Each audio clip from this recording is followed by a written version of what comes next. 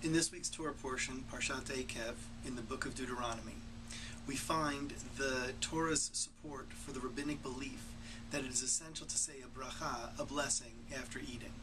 In the Torah portion it says, V'achalta v'savata v'erachta. You shall eat, be satisfied, and bless. Now, the rabbis also note that the order of the words is curious. You're eating and being satisfied, and then blessing. The implication being that only upon satisfaction should one say a blessing. And therefore, the rabbis do something very, very curious. They make the requirement for the blessing, the requirement of food, after which one must say a blessing, to be very, very, very small, such that even a bite can merit saying a blessing afterwards.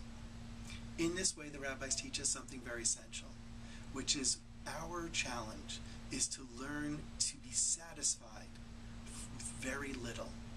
In a culture surrounded by big gulps and big portions, where food is more like feed in the size that it comes to us, Rabbinic Judaism reminds us of the essential nature of finding satisfaction in that which is very small and learning to be grateful for the little things and the small amounts of things that we may have and finding our blessings in those as well.